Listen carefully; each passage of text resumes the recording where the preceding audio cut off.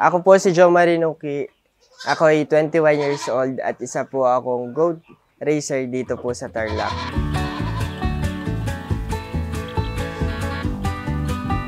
Nag-start po ako sa 11,500. 3 heads lang po. After 2 years po, meron na po tayong inaalagaan na 60 heads po na kambing ngayon. At ngayon po ay umaabot na po ng 80,000 yung naging investment ko. Ang ginagawa ko po ay patuloy po akong nagpaparami ng kambing. Nang sa gayon, ah, mas malaki po yung maging income at dumoble po yung kita ko.